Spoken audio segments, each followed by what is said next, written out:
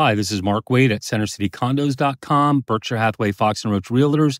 In this podcast, I'd like to share with you some feedback that I generally get from buyers after I show them a variety of buildings in the 19147 zip code. I've been a realtor in this town for 35 years, and I hear kind of hear it all. So here we go. Let's start out with Abbott Square. I think most buyers are surprised, pleasantly surprised, when they see the variety of layouts, especially on the upper floors. There's some unique designs, layouts, floor plans that you're not going to see anywhere else in Center City. And buyers are always appreciative of that. Appreciative of that. If there's any negativity I hear about Abbott Square, it has to do with the old, well, it had to do with the old Wawa that used to be there on Second Street, which is now gone. What else do I hear? I hear the lobby. I hear people complain about my buyers always seem to go in and they're complaining about the lobby, how it just needs it needs some fixing up, they say. It's been a while. It's a little bit outdated in their eyes. What else do I hear about Abbott Square? No pets. I get that complaint all the time. There are no pets, no dogs allowed in Abbott Square, and that seems to be a problem for a lot of buyers. It's a larger building. You, you might expect, you might expect most buyers would expect it to be a pet friendly or dog friendly. It is not. Moving right along, Bella Vista Lofts. I think most buyers are they go in, they like the building. They it's kind of lofty, a little bit hard edge. I think they like that. I think buyers are generally surprised to find that you can. Ha- it's possible to have two car parking there if you have a, a space with a lift in it. I think buyers are always pleasantly surprised by, or not pleasantly surprised, they're disappointed in the fact that there are so few units there that come on the market.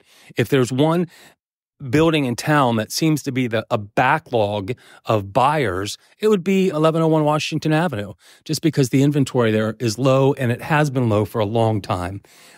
The other thing I hear out of buyers is that the penthouse units, probably the most phenomenal rambling space in a loft in Center City.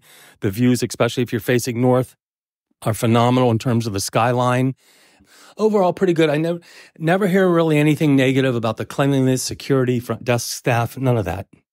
Okay, moving right along. Hawthorne Lofts. I think buyers are pleasantly surprised by the amenities in the building, the roof deck, the the pool room, the gym. For a smaller building, this this building is very high in amenities. There's no doorman.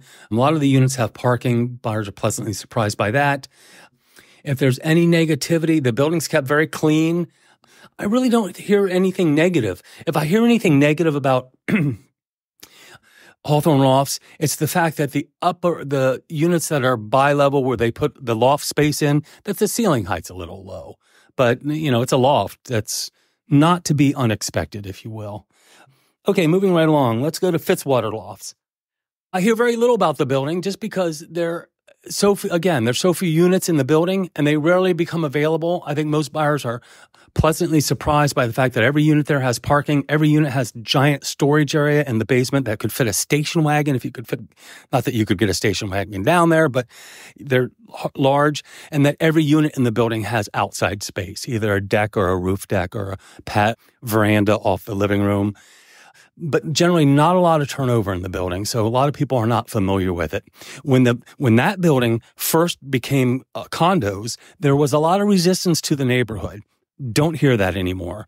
With so many condos that, that have gone in over the past decade or two, I think the proximity to Center City, as far as South Street, Low, Jefferson, tends to pull a lot of buyers there, which it may not have original when it was originally built. And I know because I was the original listing agent for that building. So anyway, this is Mark Wade, CenterCityCondos.com, telling you what I hear from buyers, what they see, what they say, what they learn in variety of buildings in 19147 zip code. Questions, comments, or concerns, pick up the phone, push the buttons on the front, 267 237 3404. Thank you.